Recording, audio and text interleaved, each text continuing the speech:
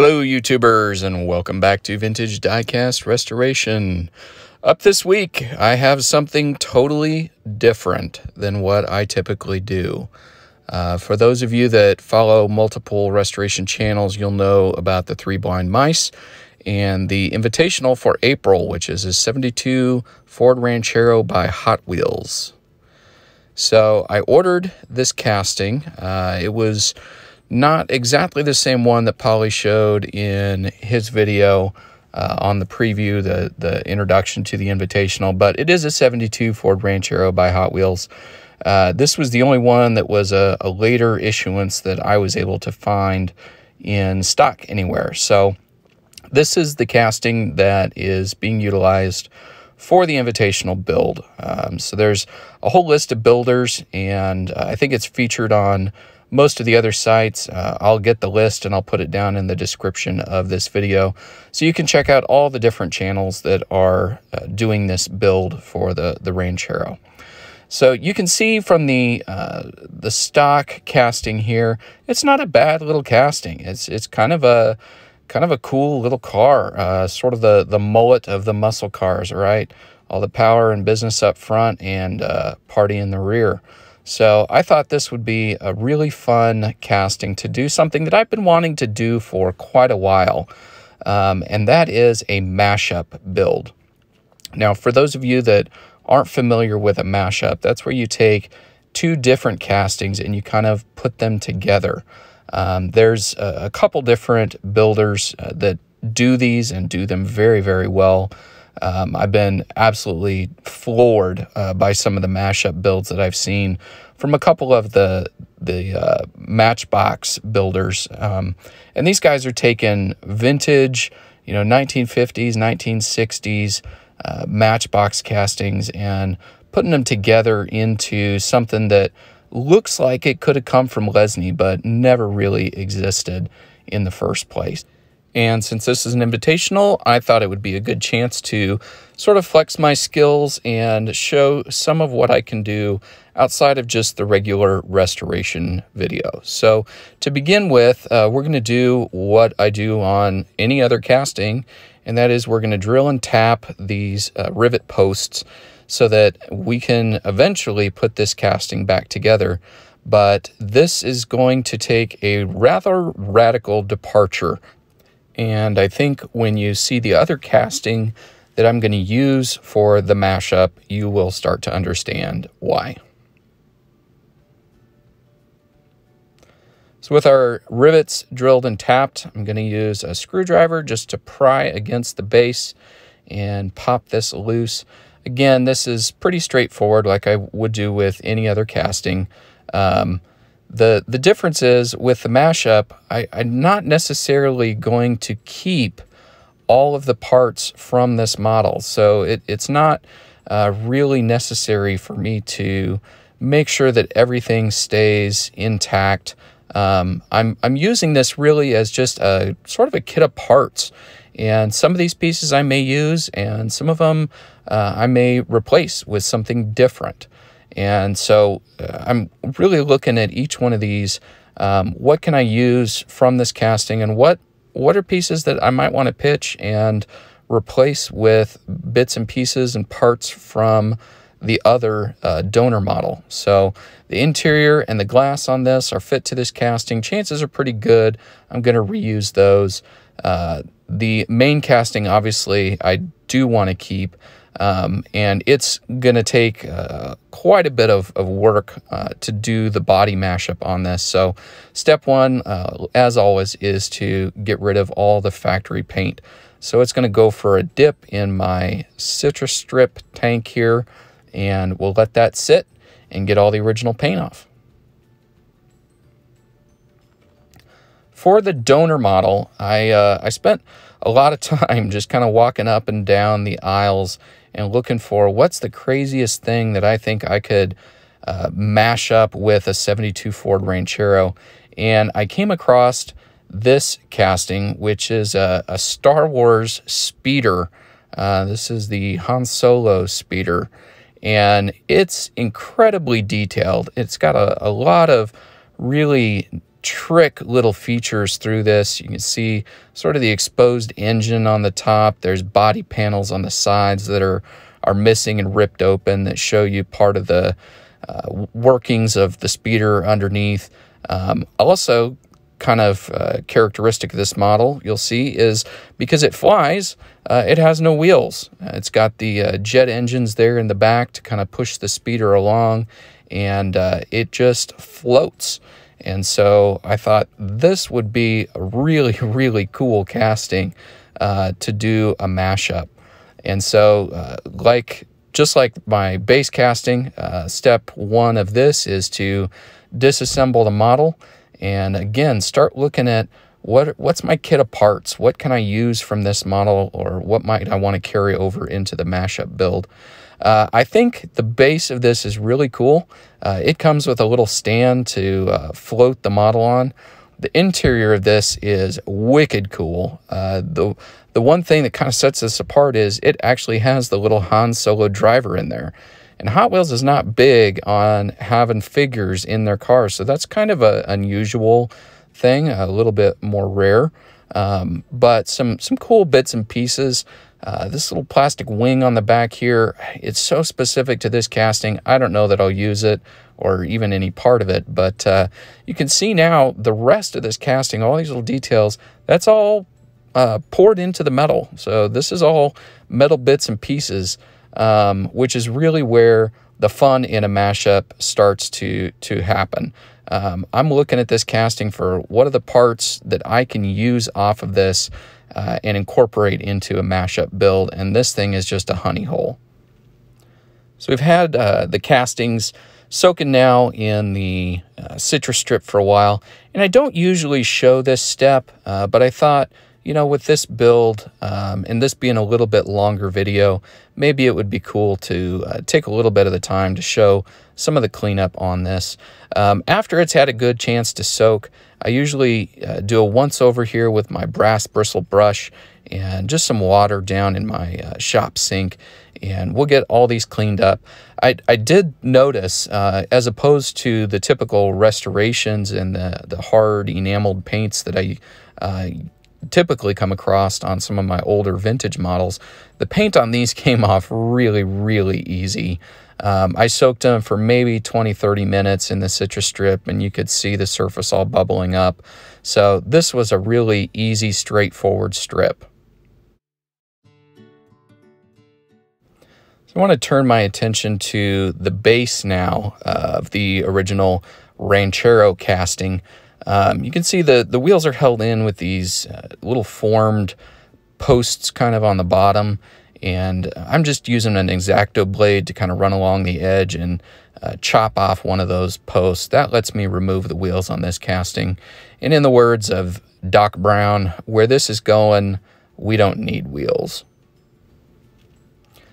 So now I'm going to turn my attention to the speeder casting. And I know that I'm going to end up cutting this thing up to get all the different parts and pieces off of it that I can utilize in the mashup build. Uh, to do that, I'm just using a small metal cutting wheel on my Dremel tool. And I'm kind of working my way around the casting. Now, I know for sure I want to do something with these rear engines. If we're going to turn a 72 Ranchero into uh, something that could have come out of the Star Wars universe um, I want it to be literally the coolest ranchero in the universe.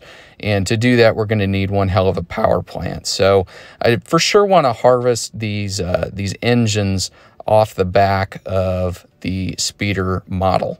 Um, thinking about the back end of the Ranchero uh, and kind of all the real estate that's in that bed in the back, um, I'm thinking that the top of this casting would make a really cool kind of tonneau cover that might fit right there into the back. So I'm going to cut down the sides and see if I can get uh, this piece out um, and see if we can use that on the back end of the casting. Something else to keep in mind when you're doing this is this actually gets the castings very, very hot. Um, and so as I kind of work my way across here, uh, the reason I'm holding it with my fingers is I can feel the temperature coming across that. If it gets too hot, it can bend or warp. So I want to cut a little bit, and as it starts to get too hot for me to hold, I want to stop and let the casting cool down and then come back and we'll cut a little bit more. So after uh, several minutes with my Dremel working away on this casting, I've kind of got it down to sort of a kit of parts. Uh, so I've got the two fuselage sections that show kind of all the wires and everything exposed. I've got the piece that I want to use for the uh, tonneau cover in the back end of the Ranchero and a, couple of these other bits and pieces that I may use, I may not use. Uh, I kind of fully intend on whatever pieces and parts are left over from this. Uh, I may utilize in a second mashup build. So I think this is going to end up being kind of a two-part uh, video, one for the, the Three Blind Mice build off, and then one that I may want to do just for myself, uh, just because I, I really enjoy this whole concept of doing a mashup. So with our Ranchero soaking for a while in the stripper, you can see uh, that new paint, it just, it comes off so easy with the citrus strip. Uh, again, this has only been in for maybe 20 or 30 minutes, and you can already see all that paint just bubbling up and ready to come off. So we're going to get this casting all cleaned up and ready to mash up. So here we are. Uh, I've got a few of these pieces to, to kind of start fitting. Um, I'm not sure, but I think that this is going to work. Um, it's definitely big enough. I, I, need to trim it down a little bit to get it to fit uh, nicely into the casting, but I think that's going to work for the tonneau. Because this uh, model is going to hover, uh, obviously I don't need the wheels anymore, and I haven't really decided if I want to leave that wheel arch and just maybe show some of these fuselage panels kind of back behind, where this really looks like a ranchero that's just been converted. Um, and and I don't know. I don't know if I'm going to use the these pieces. This might work for a, a front grill. Um, or if that's maybe taken and, and pushing it a little bit too far. You know, when this is all said and done, I still want it to look like a Ford Ranchero. Um, yes, a Ford Ranchero from another galaxy in a different part of the universe, but um, I think, you know, I don't want to go too far in a departure, different direction. So uh, I, I need to kind of decide here at this point what parts of the original model I want to try to keep to keep it looking like a Ranchero and what parts I might be able to substitute. You know, thinking about the wheels and uh, flying cars from cinema and everything else, it's impossible to to kind of ignore the uh, Back to the Future reference. Um, and, you know, maybe that's a solution. I, I, could take these wheels and turn them sideways, have them look like turbines, maybe angle them forward a little bit like it's uh, blowing the car forward. But uh, that's that's a real option. I could, you know, just use the wheels and tires that I harvested off the base casting and turn them sideways and, and make it look like it's in hover mode.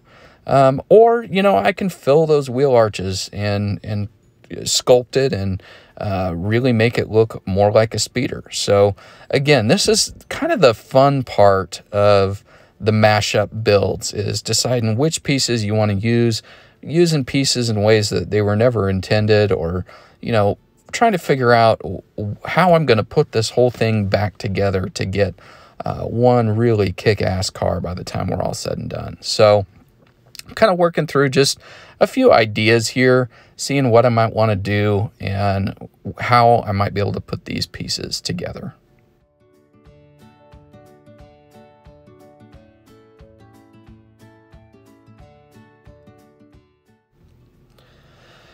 So after about four to five hours of cutting, filing, fit, and finishing, I finally got a couple of parts and pieces uh, figured out on this to get the tonneau to fit right and, and really to be pretty tight, what I did was I took a little uh, blue painter's tape and just ran it across the back end of the casting. Um, what I wanted to do was was make a pattern or make a, a, mold sort of of what the back end of this thing was. So I trimmed it up with my X-Acto, and that gave me a pretty close uh, idea to what the back end of the Ranchero was.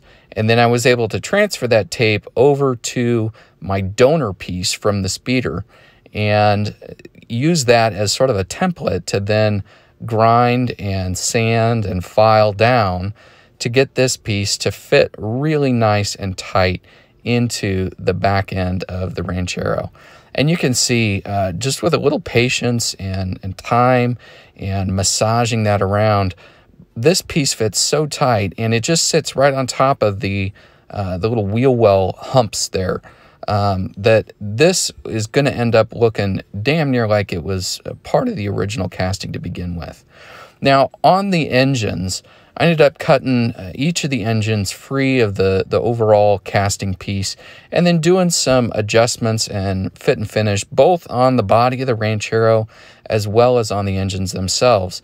And what I really wanted to preserve is the body line at the back of the Ranchero, sort of that big sweeping fender that comes down. It's it's a very noticeable, sort of a, a trademark part of the Ranchero, and uh, really gives a lot uh, of identification really to what this is. And so um, in a mashup, it's still important that you see you know the bits and pieces of each of those uh, original castings that they still hold some integrity and so i wanted to align these engines with that sort of sweeping body line coming down on the rear fenders and preserve that bit of the ranchero casting now, there's a really nice body line that runs right through the, the back end of the door and then right through the front part of the fender in the Ranchero. I don't want that body line to go away, uh, but I think I may end up uh, sanding and sculpting the, the back end a little bit to turn that sweeping body line into more of a, a cowl induction on those engines in the rear. I made some executive decisions on the front of the casting and uh, trimmed up some pieces. Um, I want these to look a, a, little bit like this was a conversion. Uh, like somebody took a really sweet 72 Ranchero and turned it into a speeder. So I want enough of the casting to be changed and modified to really show, you know, that, that this thing now belongs uh, on another planet but I, I didn't want to lose all the looks and stylings and all the cool pieces of the Ranchero itself. So uh, this is really, truly a, a mashup. I'm just kind of fitting different pieces. You can see this is actually one of the uh, rear vent pieces off the original engine, and we're flipping it around upside down and tucking it in uh, where the, the headlights uh, sat on this casting. Um, on the other side, I've kind of squared up that wheel well a little bit, uh, made it look like the original speeder, where maybe that was an access panel that's fallen off, um, and you're seeing through and you're seeing parts of that fuselage and all the wirings and workings that are showing up underneath it. Um, so you know this is this is where doing a mashup is really so much fun because there's no rules, there's no limits. You just kind of tweak it and mess with it and play with it until you get something that you're happy with and, and you like. And this has been hours and hours, but oh my gosh, this has been a lot of fun working on this and, and trying to take uh, pieces of these two models that were never ever intended. I'm sure there's some car designer at Hot Wheels right now whose skin is crawling, the hair on the back of their neck standing up, and they're going, "Oh my God, what are you doing?" And and that's the best part of these mashup builds um, it's just it's a blast to to be creative and use the this sort of kit of parts and put together a, a totally different model that never existed. So now that it's time to start uh, putting some of these things together, I've kind of identified the parts of the model that I want to, to keep and the parts that needed to be cut away have all been cut away. And I know that the back area here, where the, the rear wheel wells are of this casting, um, I know that I want to sculpt all that down and sort of uh, shape it into sort of an induction for these jet engines that are going to be mounted in the back. And that means that I need to fill in these wheel well areas. So to start doing that, I'm using a little bit of uh, just styrene sheet and some super glue. And I'm going to glue these on the inside of the casting. That way I can pile up my fill material on the outside of the casting and uh, give me something that I can, can sculpt and shape um, without, you know, compromising uh, this being able to be put back together. Uh, because eventually I want that base piece to be able to drop right back into this casting. So I put a few dabs of my uh, Instajet glue on there, and then I'm going to hit it with a uh, an accelerant that uh, dries the glue just almost instantly on contact. So with both of my filler backer panels glued into place and trimmed up, uh, I can now start filling on the body. And to do that, I'm going to use a little bit of JB Weld. I've used this before in a couple of my other videos. Uh, it's just a two-part epoxy. Uh, you mix equal parts, 50-50, the black and the white. And I'm fortunate that uh, Hot Wheels even included a nice little mixer board for me here. Um, to mix up the paddles, I also like to use uh, some of my old nail files, the ones that don't have any grit left on them still. I'll trim those up, sort of a, an angled piece on the end, and that gives me a really nice kind of little mini putty knife that I can mix and stir the JB Weld and apply it to the model with.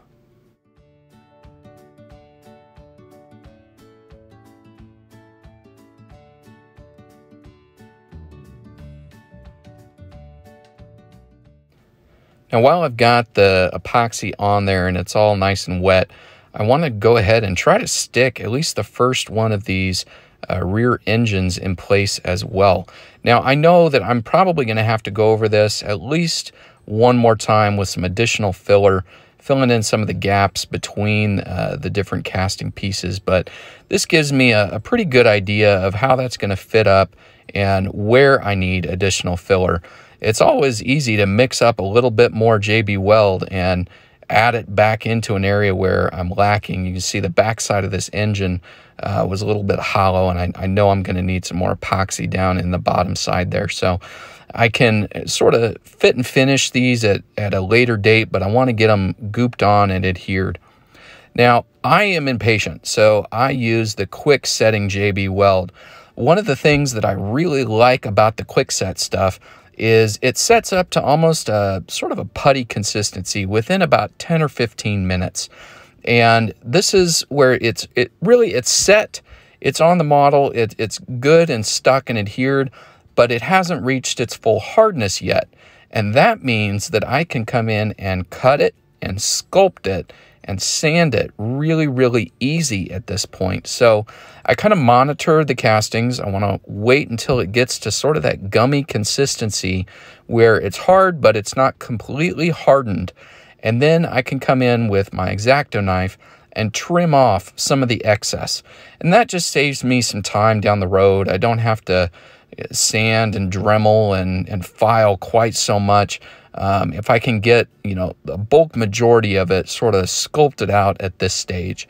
So that's what I'm doing. I'm just going through and cutting off the areas where I know I have excess uh, JB Weld on there and getting that a little bit closer. We'll, we'll call it like a 50% um, to being able to, to finish it. Now I'm still going to come back and sand this with my sanding sticks and some fine grit sandpaper before it's ready for paint and primer. But uh, at this point, uh, my main concern is getting any of the big glops, the gummy areas, the the parts of the adhesive that are in spots where I know I don't want any adhesive. So we'll cut and trim all that excess off, and then we'll worry about fine tuning it later.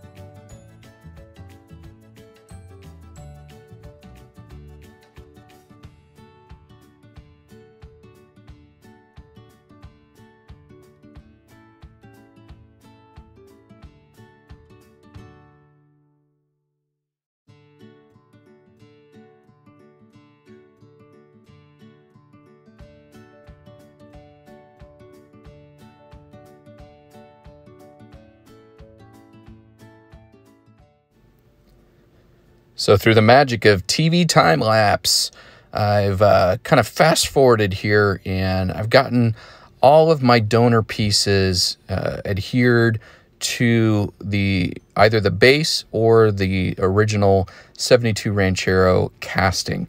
And so this has given me a pretty good idea of what my mashup is going to look like. So you can see the, the rear engines fit right on top of the line where the original bumper was from the base of the Ranchero.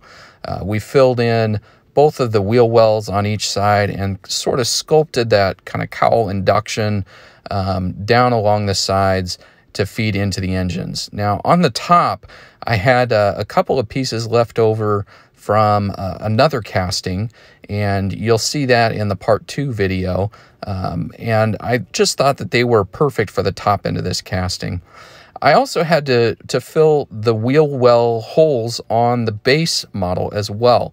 And so you can see I've used the grill from the rear uh, engines. I've used part of the dash from the speeder um, and opened up and exposed that almost where like a, a rear or lower body panel is missing and you can see uh, that piece coming in. I haven't yet stuck down the tonneau piece. Uh, that's the last piece that I wanted to put in, and I wanted to do that on camera. I also think that I may at some point in the future uh, possibly want to remove that or, or make that an articulated piece, or I don't know. So to put that in, uh, rather than gooping a whole bunch of JB Weld that makes it absolutely permanent and uh, creates a, a, mess all the way around the sides. Um, I'm fitting that in just with a little bit of my Instajet and we'll go ahead and hit it with the accelerator and get that locked into place. Um, it also gives me a, a, little bit less working time on it, uh, but because this fit dry fits so well, uh, I'm not too terrible worried about that. So wanted to at least do this piece on camera, gluing that in um, and getting that all set and ready for paint. So for the paint on this casting, I knew that I wanted to do a lot of uh, weathering and sort of faux finishes on the end. Um, nothing in the Star Wars universe is bright and shiny. Uh, all the ships have, you know, wear and age and um, dirt and stuff all over them. And, you know, if this is supposed to be a speeder in that universe, it, it's going to get some dirt on it. And so the, the end color of this is only going to serve really as a, a base. Um, and so when I thought about, you know, what direction do I want to go? What color do I want to take this model to? Uh, for some reason, I just kind of kept coming back to that Star Wars lightsaber green. And as far as I know, nobody makes an, an official lightsaber green color. So I'm starting with a little uh, Testors Gloss Yellow, and I'm adding to that quite a bit of this uh, fluorescent green. Um, I know that's going to end up darkening it up a little bit. Uh, it won't be the, the bright, shiny green, but I don't want this to be fluorescent. Again, this color is just serving as the base color for all of our future weathering and finishing. So we're only going to see bits and pieces of the base color poking through in the final finish. Um, so I'm just kind of playing with this, going a little bit at a time. Uh, we'll add a little bit of reducer and mix it up, take a look at it, and adjust it as needed.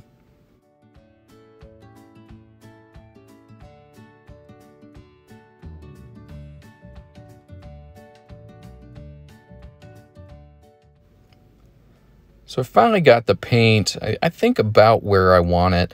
I did end up adding a little bit of the gloss dark blue uh, just to try to overcome a little bit of the, the base yellow that I started with and kick it more into that green color. But I'm happy with where this is at, so we're going to get it loaded up in our airbrush and get it going. One little tip on the airbrush, uh, when I store, when in between painting, when I store my airbrush, I like to put a little bit of the airbrush cleaner down inside the cup.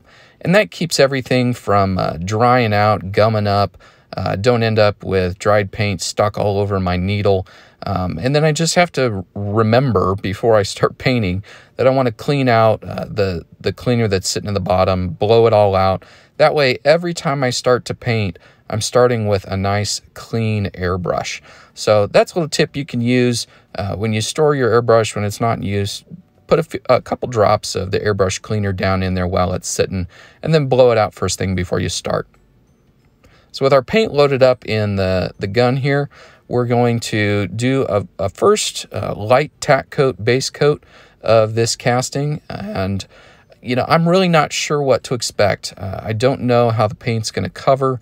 I don't know if you're going to see a difference between the casting and the JB Weld filled areas.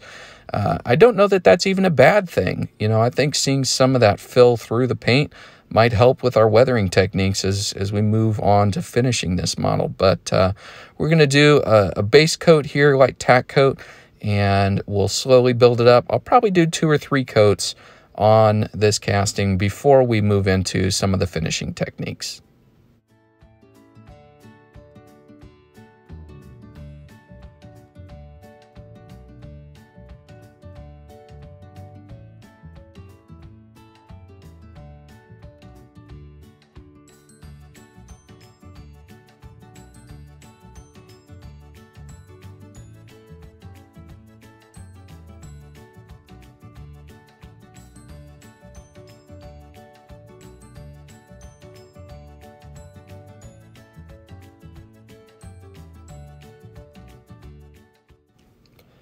So I like to give about 20 minutes or so dry time between each of the coats.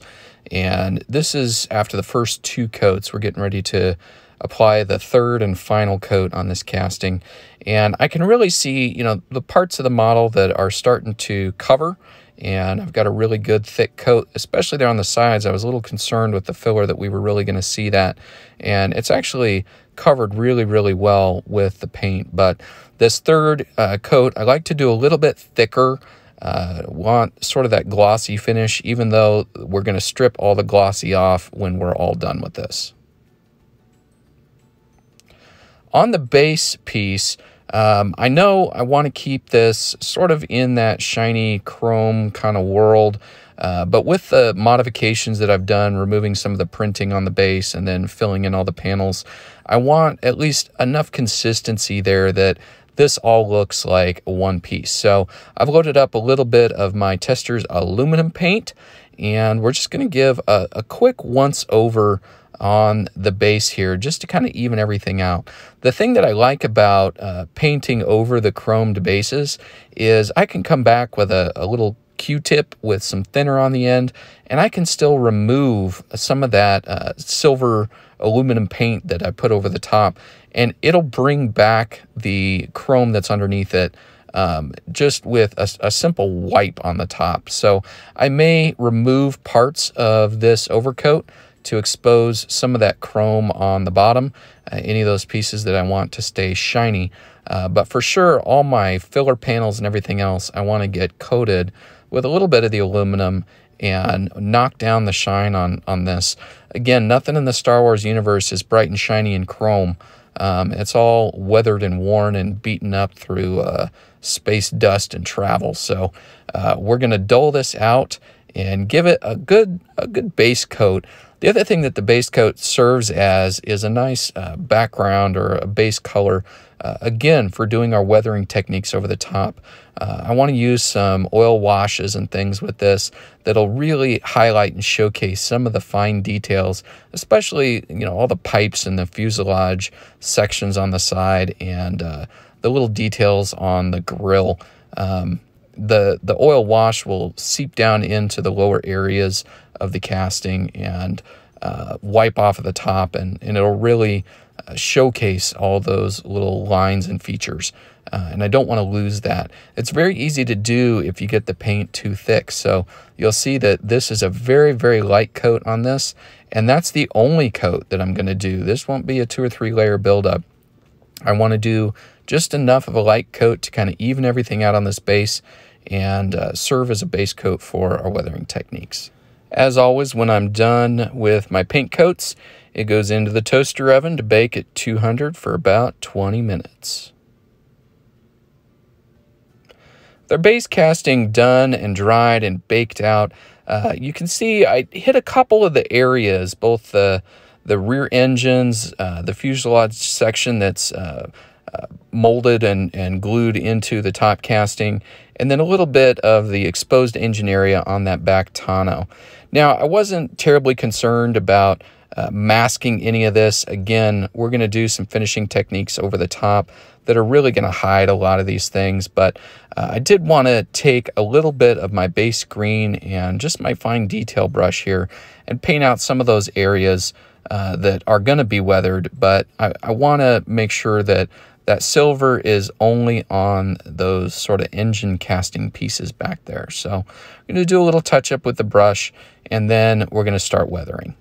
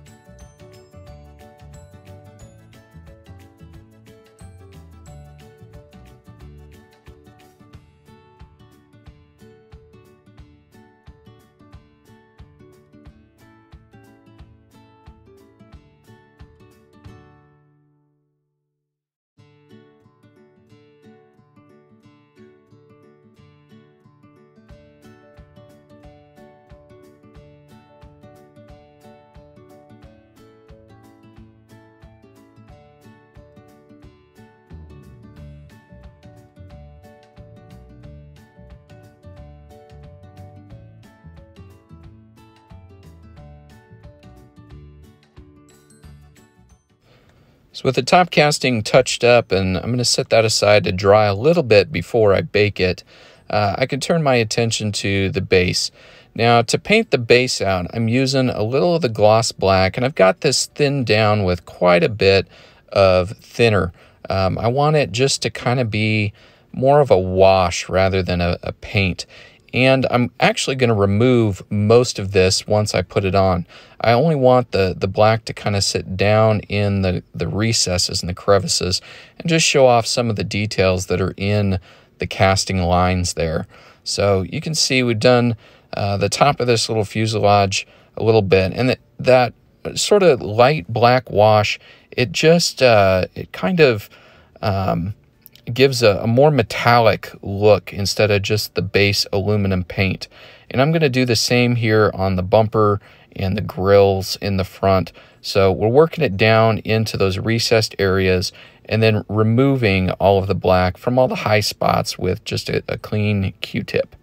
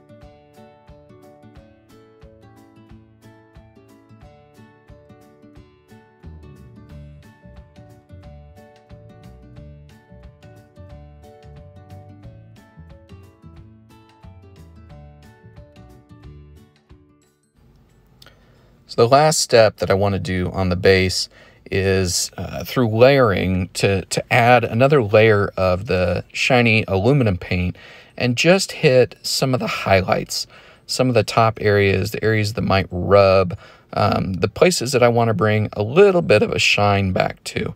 So we're going to be a little more conservative on this rather than doing the wash over the whole thing. Uh, but we're going to hit a couple of these highlighted uh, detail areas that we really want to show off some of the, the more protruding areas of the casting.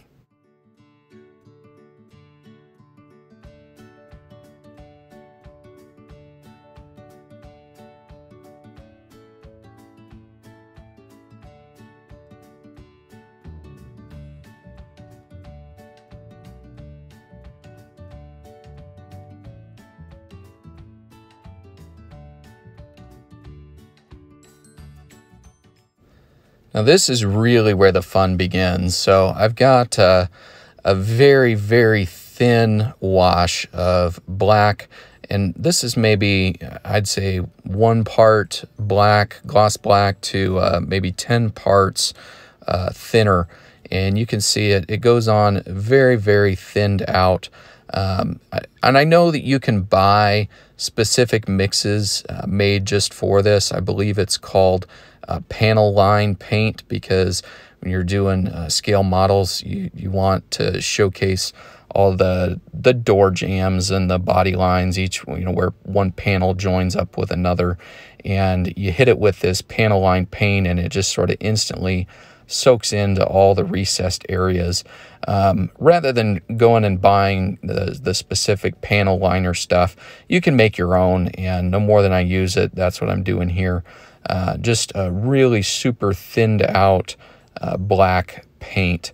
Um, in addition to hitting the, the lines, the panel lines on the casting, I also want to hit kind of some of those recessed areas, specifically the intake areas on the engine sides, and then anywhere where I think dirt might accumulate on this thing. So we're going to go through um, and just highlight some of those areas. Again, I keep this really light on the first pass, on the first wash.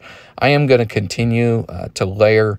One of the, the tips uh, I picked up, and I think this is from Bare Metal Hot Wheels, uh, was the you don't have to do your entire faux finish just in one bit, one take. And sometimes actually layering on uh, the paint gives you a much better end result. So we're starting here with just a, a light layer. We'll let that dry. I'll see what that looks like. And then any areas where I want to come back and dirty it up a little bit more, I can. I, I do know that, you know, I want the back end of this thing to be pretty crusty. Uh, again, kind of thinking about creating a, a, space for this in the Star Wars universe and in that storyline. Um, you know, it's a Ranchero, it's a cool car, but I want this to be a, a sort of off the track kind of model. You know, it, it came in, rode hard, put away wet. And uh, I want to show some of the, the dirt and grime maybe from its journeys along, especially along the sides here and, and areas where I think, you know, it would have sucked in more dirt, uh, especially on those intake areas and kind of down the sides of the car. So we're going to take uh, a couple different layers to get the end result that we're looking for with this.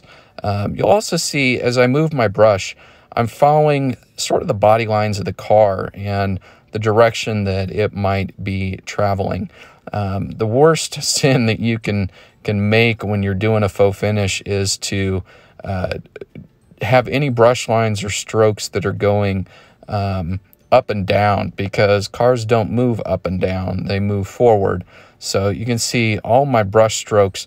I'm trying to kind of follow the, the lines and the direction of the car so that if any of those show through, it looks like, you know, streaks that are flying down the side while this thing is, is moving along.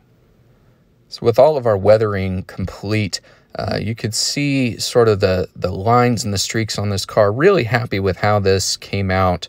Now, it is a little bit shiny, but my secret to that is I'm going to bury this whole thing under a flat clear coat, and that will dull it out and uh, make it a little bit uh, more weathered and, and worn looking.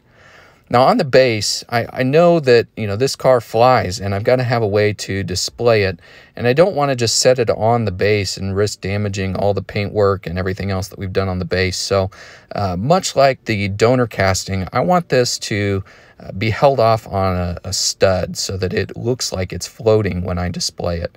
In order to do that, I drilled a, a little hole in the base here and I'm using actually a, a, a waste uh, grinding tool from my Dremel. I just cut the grinding head off and I kept the, the shaft part because I thought that's just about the right size and scale and it's got a nice shiny chrome finish on it. So uh, we'll put it in the base here and super glue it, hit it with a little of our instant set and we'll be good to go. While I was painting this model, I did put in a couple of the M2 screws in the posts, and that was just to keep the paint and the clear coat and everything else from gumming up those holes. Uh, I don't want the color match screws. I want something that's going to look like the base uh, when I put this back together. So I'm going to take out uh, my sort of placeholder screws that were there while we're painting and, and get ready for reassembly. On the windscreen, you can see I did have to make a little modification to the corner of the glass, and that's where I added this fuselage panel on the inside. I had to clip the corner so that the, the glass would clear that. On the base, on the interior, we painted that up as well, um, hit it with the flat clear, and I had to make a couple adjustments to the bottom of the uh, interior piece so that it would mesh up well with the base uh, once it gets all snapped back together. And you can really see the, the flat clear coat on this has preserved all of those weathering techniques, all the faux finish we did underneath it. Uh, it's going to protect it, help it last, uh, but it's also kind of dulled down the model and brought it more true into the look of a weathered speeder rather than a shiny muscle car. Um, to reassemble the model, uh, I'm using just the same M2 screws, just without the paint on them. And I don't, I could go over these and weather them as well, but I think for now I'm going to leave them as is. Um, and so I'm putting those back in with uh, my little hex driver here. Uh, it's a great tool, works really, really well for this. I don't have to fiddle with uh, um, Allen keys and things that are, are the right size. I just ordered an, an M2 uh, hex screwdriver that works with it. So this base uh, should just screw on exactly like the original car did. Um, all the modifications we've made, everything else, have been to kind of preserve that fit and finish. And this actually has gone back together relatively well. I'm really, really happy with how it has come out so far. So I hope this has been uh, kind of fun for you to watch. Uh, I know it's probably totally different than what the other channels are doing, but I just couldn't pass up the chance to do a mashup. So as a reminder, here is the base casting that we started with. A pretty cool little 72 Ford Ranchero by Hot Wheels. Some really nice decals, some big fat tires on the back. This is a cool, cool car. And in doing the mashup, I knew I didn't want to lose the cool factor that this original casting had. I just wanted to kind of give it a new storyline and a new universe to live in and see, you know, what would I do if I was a mechanic in the Star Wars universe trying to convert this already cool car into one hell of a speeder. And this is what we came up with. So uh, I hope that this has been fun for you all to watch. It was really a blast for me to do. Um, as I said, I, I started doing this one and ended up with some other pieces and some other donor cars. And so I've actually done two of these. And I may eventually get around to editing the videos and putting together the other model. But uh, I've got a pair of these now and uh, this was this was just a really fun fun project to do. So I want to give a shout out to uh, the Three Blind Mice uh, for their challenge to do this casting, um, and thanks for putting on the invitational, inviting all the uh, different customizers and channels to participate. Uh, I hope this blew your socks off with uh, what could be done with this sort of a casting. And uh, be sure you check out in the links all the other builders and see the other channels, see what else other people came up with for uh, this invitational build. Um, we all appreciate the support and, and the views. Uh, it's why we do what we do. So uh, make sure you check out the other builders and see uh, their builds as well.